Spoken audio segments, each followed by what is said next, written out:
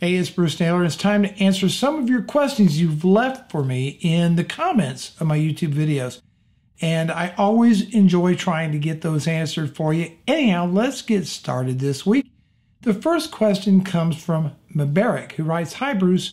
Can you talk about working at home versus leaving home to work with your laptop? Benefits and cons regarding productivity and mental health, maybe. Thank you, Eric.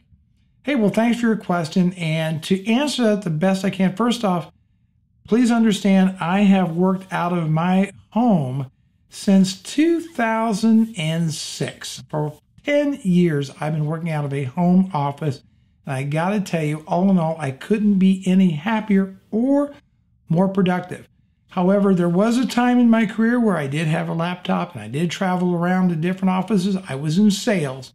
And so the big difference there was not so much the applications, but the lack of screen real estate would sometimes drive me bonkers as I try to do presentations uh, on them or hook them up to different types of uh, you know projectors and that kind of thing. It always kind of got weird sometimes. Things didn't always work out, but other than that, uh, as you know, today's uh, laptops are extremely powerful and very capable workhorses. But nonetheless, when we get back to productivity, what I feel is the biggest benefit for working out of a home office is the lack of distractions. I can sit down and work and not worry about, you know, attending all these unnecessary meetings or getting, you know, kind of pigeoned into one of these or pigeonholed into one of these impromptu social activities which do nothing but contribute to sucking up your time. So, with that being said, it's also important to remember when you're working out of your home that you can lose track of how long you've been working. It's very easy to get up in the morning, come in and start to work, go in after dinner and sit down and what you thought would be a two minute job turns into, you know, it's 11 o'clock midnight before you walk back out of your office. So you have to be very, very careful about your time and try to keep professional hours. Working out of your home is not for somebody that's not motivated or self motivated or self starter, if you will, to get things done. Uh, if you tend to be, you know, needing direction and kind of lackadaisical, then it's probably not for you. But for most part, it works out just great for me. Productivity is king, but it's also important to remember that you've got a family and you've got uh, and you need to get out and socialize and network professionally and personally to keep those friendships going and to keep those business relationships going. You can't just hole up in your office and never, ever leave. Some people have a tendency to become a hermit. I'm not one of those people, but hey, hopefully that answers your question. Okay, the next question comes from Veritas Cyclorum, who writes, Hello, Bruce. I really appreciate the video. He's referring to my uh, uh, video we did on CRM, and he says, Do you recommend or know of any free CRM that does not have scary terms of service. I would simply like to explore CRM software and become more familiar before a purchase. Well, I can tell you one of my personal favorites is a uh, is called Zoho CRM. There is an absolutely free version of it out there for you, and if you decide to grow, uh, then you can take out a subscription to it. But it's absolutely free. There's no uh, red tape in trying to cancel, you know, your subscription is free for as long as you want to use it, and if you want to pay for it. And I and I find Zoho a good compromise uh, as far as ease of use, functionality, than the much more expensive packages out there. I like to think of Zoho as Salesforce Lite. It's got a lot of the same functionality at a fraction of the cost, and that's why I use Zoho. So hopefully that answers your question. Okay, the next question comes from the Electronic Geek.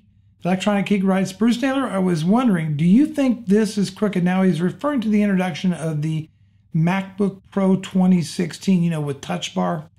And he wants to know if it's crooked of Apple because if someone wanted to buy a the newest high end or a new highest end 15 inch 2015 MacBook Pro, now they can't. This will force them to buy the new 15 inch 2016 MacBook Pro with the dedicated GPU. This is an issue no one has seemed to talk about. What is your take on this? Well, it is, in a way, you're correct. Uh, if you want to order a brand new MacBook Pro, the 2015 or 2016 model, then right, they've taken off the the prior generation out there. However, it is still available refurbished. Now, typically what happens when Apple comes out with a new version of their laptops, a lot of people will jump in uh, to the refurbished part and get the prior generation at a nice discount. So the availability of inventory of the older MacBook Pros is going to vary quite significantly depending on demand. As I understand it at the time of this recording, the new 26 or 16 MacBook Pros are selling very, very well. So you'll just have to go to the refurb section and check it out. Hopefully that answers your question. Okay, this question comes from Shirak Sharma. Shirak writes, can you suggest me a MacBook Pro 2016 alternative? Uh, so what Shirak is asking, uh, there, there's you know the 13-inch MacBook Pros and the 15-inch, and so let's talk about the 15-inch MacBook Pro. If I was looking for a Windows alternative day, I would look no further than the brand new 14-inch Razer Blade QHD for $22.99. So this laptop uh, features an all aluminum body. Number one, unibody construction. So it's going to be built very, very well. Razer has an excellent reputation. And I think also what's important is that you get better specs with this Razer Core that, or with this Razer blade than you would with the 2016 MacBook Pro. For example, you get the, of course, the i7 6700HQ uh, CPU with this machine. The QHD is, I should have wrote this down, it's like 30, I'm going to get somewhere around like 3120 by 1800 uh, pixels on this machine. So it's going to be very high, very razor sharp, if you will, display. It also ships with the NVIDIA GTX 1060M GPU with 6 gigabytes of DDR5 memory. Now compare this to the uh, MacBook Pro, and I think that's the uh, what is that? That's the R460.